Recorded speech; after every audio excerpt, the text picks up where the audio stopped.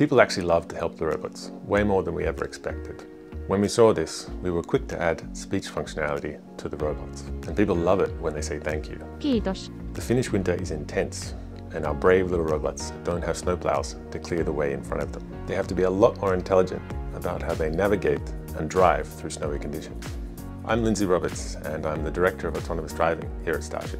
Since we started delivering groceries in Helsinki, the service has been really popular and we're now covering 11 cities in Finland. And we've done more than 120,000 deliveries to happy customers. Some of these stores are the farthest north our robots have ever operated, which means a lot more snow for much more of the year. So we pulled together a team of specialists at Starship and got to work. We're solving challenges that we think no other robotics team has ever encountered. So it's pioneering work. We built a special system that uses nine obstacle sensors to negotiate snow piles.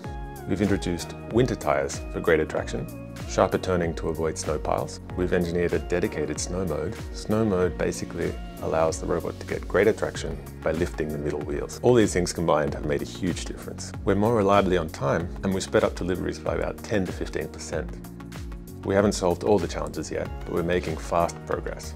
What I love about working at Starship is that we're constantly breaking new ground and facing new challenges. Our robots rely on data to learn and improve. And now that our robots have more experience driving through tough, snowy conditions, they're much better at handling these snowy conditions on their own.